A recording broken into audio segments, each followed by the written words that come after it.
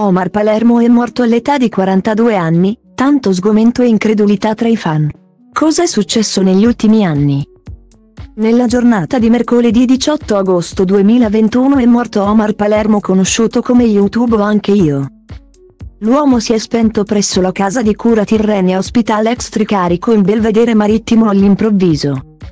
A darne il triste annuncio sono stati il padre Antonio, il nonno Ferdinando Cosentino gli zii, i cugini e i parenti tutti. Dopo ore di incertezza sulla sua sorte seguite a loro volta da quasi due anni di inattività su YouTube. È arrivata questa terribile notizia che si sta diffondendo a macchia d'olio su tutti i social. Quella che inizialmente era soltanto una indiscrezione, è stata pubblicata e confermata da un parente di Omar Palermo su Facebook. L'uomo era ricoverato da diverso tempo in una clinica cosentina e si stava sottoponendo a una riabilitazione in seguito a una caduta che gli aveva fratturato un femore. Sembrava che tutto stesse andando per il meglio, era riuscito a perdere anche 55 kg. Ma improvvisamente un infarto l'ha portato via. YouTube anche io è morto a soli 42 anni.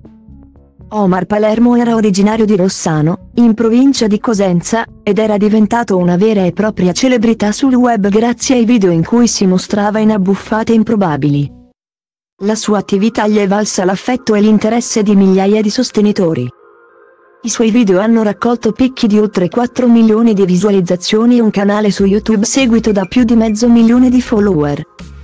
I funerali di Omar Palermo YouTube anche io saranno celebrati venerdì 20 agosto alle ore 11 a Rossano nella chiesa di San Bartolomeo.